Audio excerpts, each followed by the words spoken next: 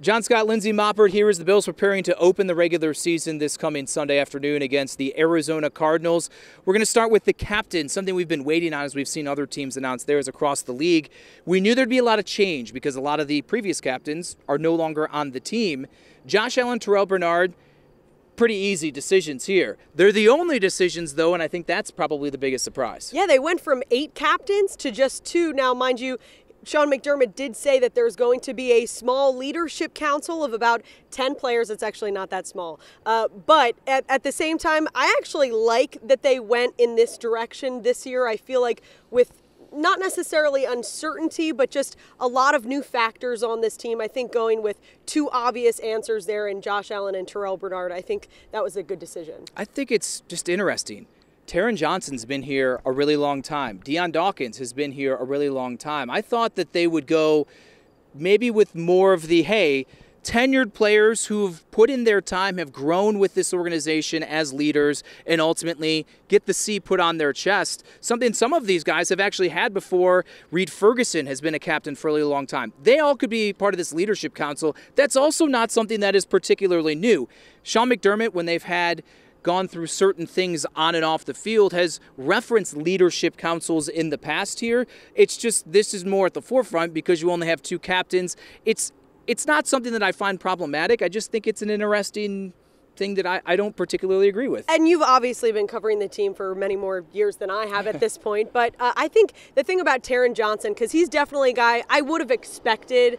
Um, same with Dion Dawkins, very, you know, likes to put his two cents in. He, he, he definitely has those leadership qualities. But I think again, in a season where there is just a lot of new moving parts and things like that, I think going safe with two guys, offense, defense. Here you go. I, I think it was a good move. And the guys who are not actually captain captains, they're still going to be leaders on the team. Exactly. You don't have to just have the patch on your uniform to be someone that can be impactful on and off the field here. Let's shift to the injury front because it's incredibly different than it was the last time we even were talking about things in a positive way. Only Javon Solomon not practicing, Mitch Trubisky limited. That's also incredibly surprising. Everybody else, Lindsey, full participation, which means the Bills somehow in a two week span go from like 12, 15 guys that we had to put on a nice graphic on air to it looks like everybody's going to be available. Yeah, and the thing, uh, I spoke with Curtis Samuel after practice, and he pretty much said that if you have the time,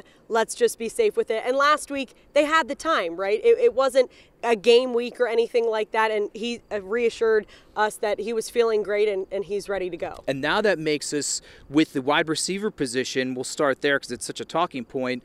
How is it actually going to shake out? We rarely saw the starters with Josh Allen through the preseason. Where's the chemistry there? Who is actually out there? Because in the one series, we saw Keon Coleman, we saw Mack Hollins, then we saw Curtis Samuel, then we saw Marquez Valdes Scantling. Let's see. This is the number one thing I think on the list here of what is the offense and what is the wide receiver group going to look like against the Arizona Cardinals? Now, this was a topic that was very interesting with a couple of players that we spoke to afterwards, starting with Dion Dawkins. He used the word unpredictable when describing the offense as a whole. What can we expect to see? And at first, he said do you guys think unpredictable is that a bad word? Is that something that's kind of used negatively? And you know, I wouldn't say so. We kind of asked a couple of other players, what is your take if if your offense is called unpredictable? And I think really the basis of what we heard is just that there are so many targets that it's hard for a defense to kind of game plan as to what they are going to do out there. Uh, and then when describing it, Khalil Shakir said went back to the Joe Brady uh, mantra and said everybody eats. Hmm. we don't know how much everybody's going to eat or when it's going to be someone's time at the table, but uh, back again to that mindset. So I think it's going to be really interesting in this first week just to see kind of how that plays out because we don't we don't even know. I don't even think Joe Brady knows because you constantly hear from offensive coordinators. You don't really know the team that you have and what the best things are for your offense or defense until you get into the game action, until you get a feel for the guys and how they're all gelling and everything like that. I've been using the word different. I just think the Bills' offense is going to look different. I'm not saying it's going to look better or it's going to look worse. I think it's going to look different, and that's where the unpredictable aspect of it tends to go. Let's go to the defensive side of things because the other main position group that we've been talking about with uncertainty is the safety spot. Taylor Rapp, we knew it. We've been saying it since the spring. He's there at one of the spots. The uncertainty was at the other one, but the guy we've been telling everyone about since OTA's minicamp when we were standing here back in May was Damar Hamlin's making plays. Damar Hamlin is a legitimate contender to start at safety next to Taylor Rapp. Some people thought it was simply because of injuries. That's a big factor. But here we are heading into week one, and Damar Hamlin is the Bills' starting safety. And Christian Benford said something very interesting after practice. He said that a lot of everything that he knows about Damar, Damar Hamlin and his game is kind of the stuff that, that we don't see. It's like the, the unforeseen stuff behind the scenes all of all of those things and just his growth on the field i think that you know hearing from damar as well after practice today it was it was pretty moving. I mean, he talked about being very process oriented and, and taking one day at a time. It's very important to not skip any steps.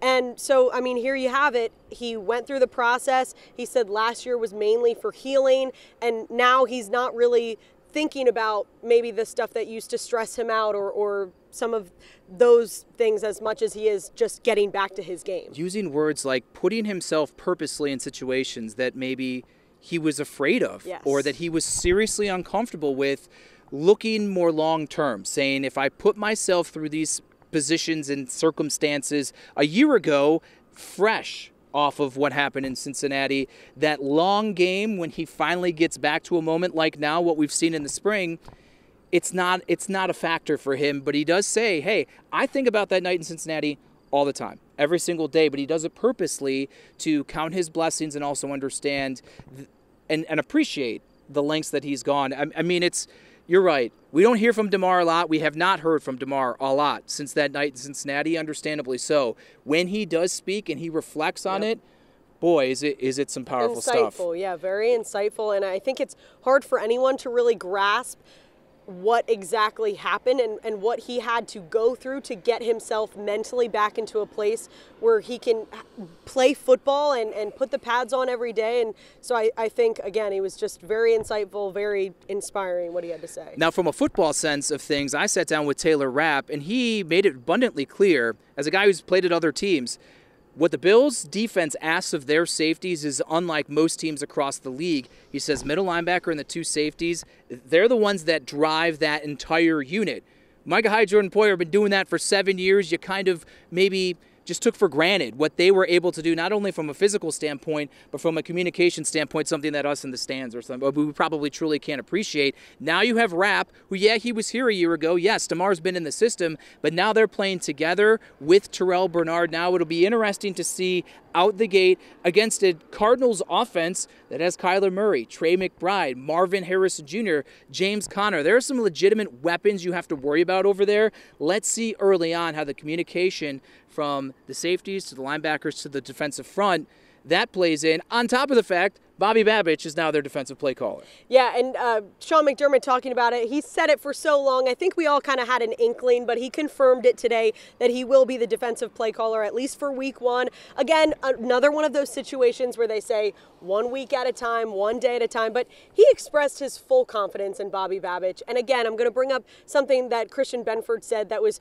pretty insightful on just We've heard it a thousand times. He brings the juice, he brings the energy. But what I thought was interesting that he said is that, you know, he can be a jokester, but he's also, and he can be real with you. So he'll be real with you, but it's in a respectful manner. And so he said, like, that is the part of what he loves about Bobby Babich is that he can be serious with you and he'll tell you what's up. He'll put you in your place, but he is respectful about it. And then he can go right back to joking around. So the interesting dynamic is that Sean McDermott touched on was he's relinquishing the duties to someone else. He's doing it for the first time, but kind of the dynamic of he hears and knows what Bobby's calling. Does he agree with mm. it?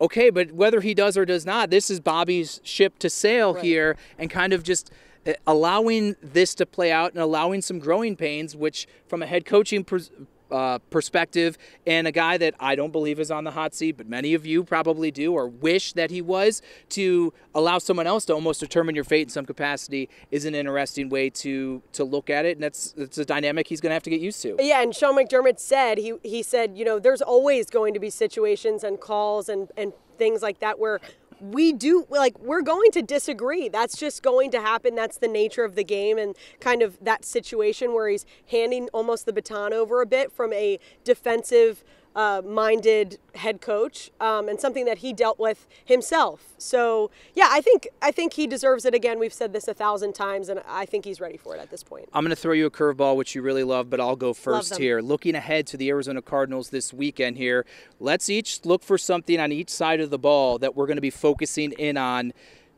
when the game is rolling here. Like I said, I'll go first on the Bills offense, what I will oh, be looking for. I'm actually ready. because time. okay, then you can go. You okay. can take it. Okay, because I was going to say I'm going to start with the offense. I think for me the key to the game is essentially we saw it so much in, in the early games last season where they come out slow, right? And that's that is so hard to come back from that, especially with a new offense like this. I think they need to connect early. Josh needs to connect with his re- new receivers early, and they need to get things going quickly.